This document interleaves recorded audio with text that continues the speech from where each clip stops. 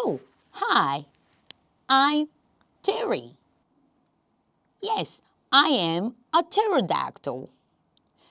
I have big wings, so I can fly everywhere.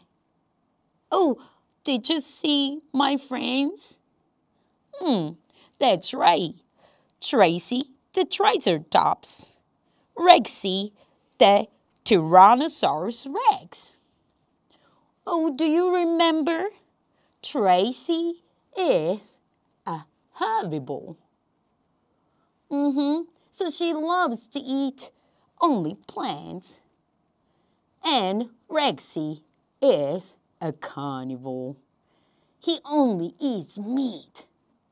But myself, yes, I am both. I eat plants, also meat.